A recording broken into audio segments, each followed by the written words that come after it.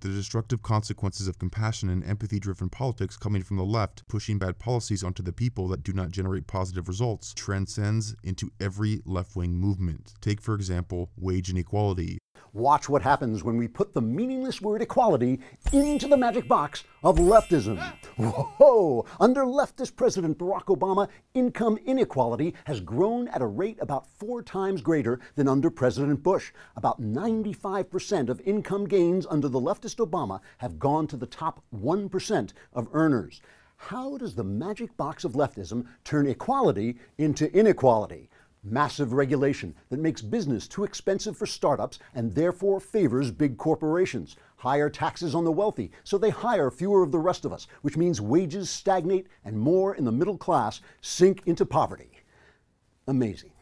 Today, the political left champion wage equality and higher minimum wages and use compassion as their motivator. Why do you want people to be poor? They'll say to the conservative who makes fiscal sense. Nobody wants people to be in poverty, but in a free society, you can't force people to make good choices. But the left will try to shoehorn equality anyway, and this shoehorning of bad policies to make themselves feel better and try to equalize things out never has and never will work in the end, at least not in a free society. It is compassion that motivates the left to solve the problem of wage inequality, but since compassion compassion motivated politics has made income inequality even worse, we can now use more compassion to fix it by helping people in minimum wage jobs make more money and the government shoving a $15 minimum wage down the throats of American businesses. You make people more expensive than machines, they will be replaced by machines. It's already happening. I promise you that in less than five years, the majority of these fast food, for example, restaurants, won't even have people at that window. It'll be a touchscreen. And so we do want to help workers with the skills that they need to find the better paying jobs of the 21st century. The, basically this trickle up economics, this idea that if you pay people $15 an hour, it will help the general economy. It's, it's evidencing a, a differential point of view with regard to how money is invested and what makes your life as a consumer better. The reality of the situation is that what makes your life better than people's lives were 50 years ago is all the new products and services developed by all the rich people who hire you. All of you out there who I'm sure are not rich, are you working for a poor person right now? Who is hiring you? Who's paying your salary? Unless you're working for the government, and even then you're not paying you're not working for a poor person, you're paying for the rich people who actually pay the taxes that pay for you to work for the government. So this idea that economic growth is a function of people making $15 an hour versus $14 an hour is simply not true. The, the reality of the situation is that what makes the economy grow is new products and services that make your life better and which require millions of dollars in research and development. And as far as the point that was made about the salary of the CEO of Walmart, all I can say is this. See, the Walmart has approximately, they're the biggest employer in the country. They have something on the order of, of 2 million employees across the country. Let, let's say we agree that 20 million is too much. And let's say that we cut that salary to zero. Great, we just gave everybody 10 bucks. Unfortunately for employees, most people don't realize the unintended consequences when the government starts setting pay rates. Minimum wage or entry level jobs are generally for high school, college, and those people seeking part time work. They are the first rung on the employment ladder. Black unemployment rates were lower than those of whites as long ago as 1890.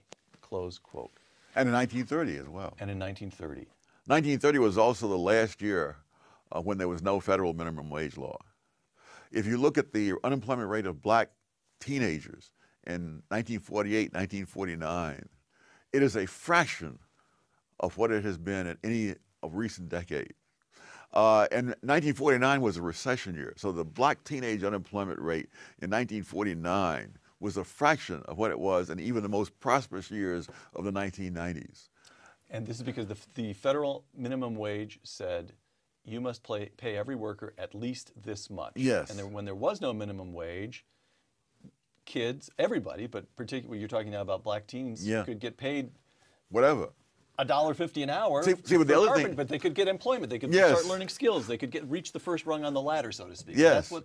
and people move up very quickly. I mean, McDonald's has over 100 percent turnover a year. People say he's out, he's out flipping hamburgers. Yes, he's flipping hamburgers in January. Does not mean he's going to be flipping hamburgers in December uh, somewhere. how to get to work on time, how he, to get a That's right, and he's and he's not going to be. He's going to start start up the ladder. Right. Uh, but the uh, what, was different about the late 1940s was the minimum, the federal minimum, the Fair Labor Standards Act of 1938 specified what the minimum wage would be. The runaway inflation of the 1940s made that number meaningless. So, for all practical purposes, inflation had repealed the minimum wage law. I see. Thank God I, I was a teenager in those years. Uh, and, you know, when I started out my first full time job as a Western Union messenger, uh, my, my starting pay was 50% above the federal minimum wage because inflation had made the federal minimum wage meaningless. And so, under those conditions, in 1948, black 16 and 17 year olds had, had an unemployment rate under 10% and slightly less than that of white teenagers the same age. Now, as you come in, and the liberals say, no, we, we've got to catch up with inflation. Starting in 1950, they escalated the minimum wage regularly. And then you begin to see these horrendous rates of unemployment among black teenagers. A majority of the Senate Democratic caucus are now backing a bill that would raise the federal minimum wage to $15 just two years after a comparable bill introduced by Bernie Sanders only received scant support from his colleagues. But now in 2017, a majority of Democrats support increasing the federal minimum wage to $15. Why does this measure receive a majority support from Democrats when just two years ago it only received scant support? What has changed in that two years' time? The economy is actually better than it was back in 2015. So why the support now for the $15 minimum wage? Has economic economics flipped upside down in the past 24 months and shown that the $15 minimum wage now helps the poor? No, actually the opposite. The places that are phasing in a $15 minimum wage have shown results that one with a basic understanding of, economics would expect. Seattle, San Francisco, and New York are good examples. In Seattle, when the wage increased from $11 to $13 on its way towards $15 an hour, low wage jobs fell by 9% while total payroll went down by an average of $125 per month. Back in 2016, after the $15 minimum wage increase was announced, Seattle experienced its largest three month job loss in its history, and the rate of teenage employment fell by 38%. San Francisco's minimum wage increase has produced similar results, with 64 restaurants closing in the winter of 2016, and a Harvard Business School study showed an increase of $1 per hour in wages would increase the likelihood of a median 3.5 star restaurant closing by 14%. New York lost over 1,000 restaurants in 2016 thanks for the increased minimum wage laws, and the number of jobs for cooks, servers, and dishwashers grew by only 1.4%, which is less than half of the 4.4% annual growth rate from 2010 to 2015. Fast food industries in New York also grew at a 3.4% rate in 2016 compared to its annual 7% growth rate from 2010 to 2015. So why has support for the $15 minimum wage actually grown among Democrats since 2015? Well, because Democrats lost the election. Now, in order to gain favor among the voter base, they have to do something drastic. Think about it. They rejected this measure two years ago, but support it now despite the economy improving and clear examples and evidence that increasing minimum wages to $15 an hour is harmful. The only reason Democrats are pushing this awful $15 minimum wage agenda is the same reasons they always push bad policies to win votes. Left wing policies of compassion don't work, but it doesn't matter. It's not about what actually works. To the left, politics is a PR game. It's about looking good, winning votes, not actually making things better. Left wing policies of compassion do not work because their goal isn't improving conditions, it's about winning votes, growing government, and growing their power. Christopher Lasch once wrote Is it really necessary to point out at this late date that public policies based on a therapeutic model of the state have failed miserably over and over again? Far from promoting self respect, they have created a nation of dependence. They have given rise to a cult of the victim in which entitlements are based on the display of accumulated injuries inflicted by an uncaring society. The politics of compassion degrades both the victims by reducing them to objects of pity and their would be benefactors who find it easier to pity their fellow citizens than to hold them up to impersonal standards, the attainment of which would make them respected Intellectuals and Society, quote, intellectuals give people who have the handicap of poverty the further handicap of a sense of victimhood. Yes. Close quote. Explain that, Tom. They, intellectuals have a great tendency to see poverty as a great moral problem to which they have the solution. Now, the human race began in poverty, so there's no mysterious explanation as to why some people are poor. The question is, why have some people gotten prosperous? And in particular, why have some gotten prosperous to a greater degree than others?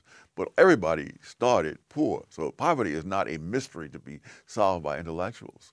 More than that, I think uh, one, one of the things I wish I'd put more emphasis on in the book is that intellectuals have no interest in, in what creates wealth and what inhibits the creation of wealth. They are very concerned about the distribution of it, but they act as if wealth just exists somehow so, and it's only a question, it's like manna from heaven. It's only a question of how we split it up. And why should that be? Why shouldn't they find that question, at least intellectually, fascinating? Because it would destroy the whole vision that they have. If because it would lead to the answer of free markets.